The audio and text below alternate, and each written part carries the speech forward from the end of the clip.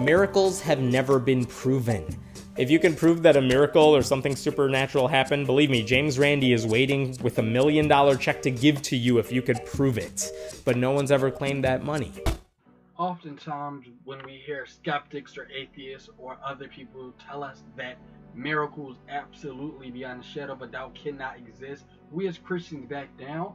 But that should be the one thing out of anything that we should not be backing down from. From the beginning of the Bible all the way to the end, it is miraculous. Hey, if it isn't, I'd like to see you do it.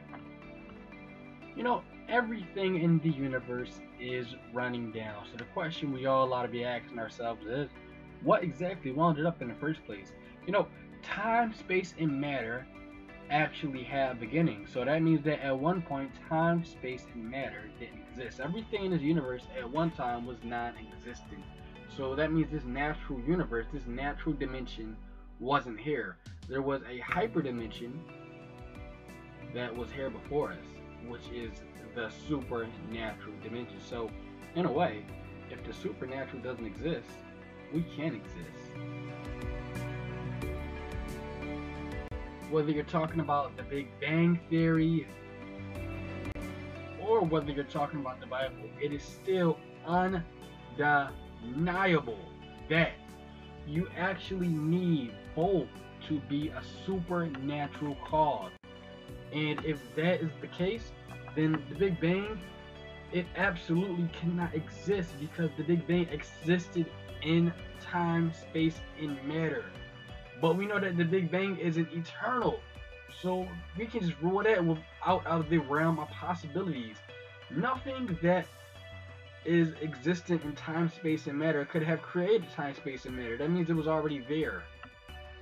Whatever created our world, it couldn't have been a mere mistake because time, chance, and probability only exist within this natural realm because at one time time didn't exist. Therefore, chance and probability didn't exist. Time, chance, and probability are only things within this dimension. But outside of this dimension, whatever made our universe, it had to have done it on purpose the Bible tells us that God is light, but it also tells us that through the power of his word or through his energy that God made matter or the universe. Is that a contradiction? No. God is a first causality energy. God is a energetic force. And we know that God is an energetic force because only force or forces can bring matter together intelligently. Therefore, God exists.